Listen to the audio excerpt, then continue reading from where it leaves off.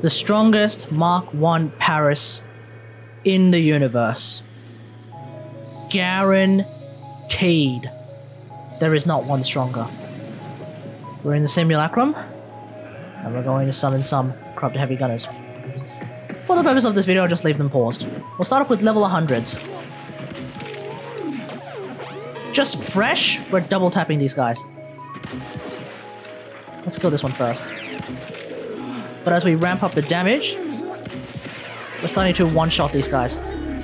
Especially when you chuck in a bunch of viral procs as well. then of course we have much more higher level enemies, like level 170s.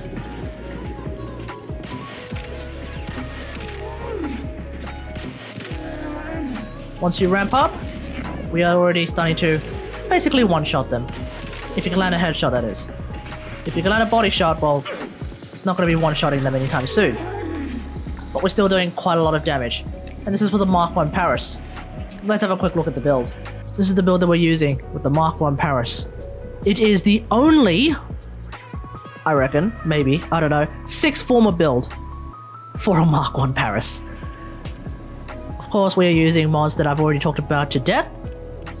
Prime Viral Damage, Prime Shred, Vital Sense, Critical Delay being a difference to my Paris Prime build, because I actually have a dash slot here, so I'm using Critical Delay instead of Point Strike. Galvanized Scope, Galvanized Chamber, I've talked about these mods to death.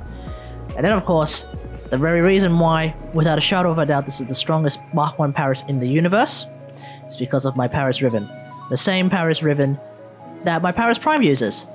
But notice how the Riven disposition is so much higher on a Mark 1 Paris that I am actually getting more critical chance and more critical damage, as well as more damage from this particular Riven. So that is of course making this really really strong. 203% crit chance and 175% crit damage. Ooh, that's real nice.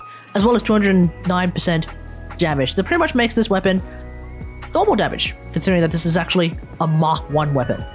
Of course, with that minus 102.9% status chance you can see on the left hand side, my status chance actually does not exist, which is absolutely friggin' hilarious, but that's okay. I'm basically using this weapon to pretty much power through enemies. And if I really need those viral procs, well, as you've seen in the demonstration, my Moa can handle that itself. And because this weapon is not a Paris Prime, it doesn't have Visage Bow, which means status chance is even more useless than that on the Paris Prime. So, that's pretty much it. Let me know what you about all this in the comments below. Have a look at how quickly I delete an Acolyte with this Mark 1 Paris. Now, of course, that Acolyte was in a magnetized bubble, but I mean, we've used a lot of weapons on Acolytes in magnetized bubbles, and only a handful of them have actually deleted an Acolyte in three frames after the shields. Yeah, this is the strongest Mark 1 Paris, and I need to stress this again. Mark 1 Paris that exists in the game.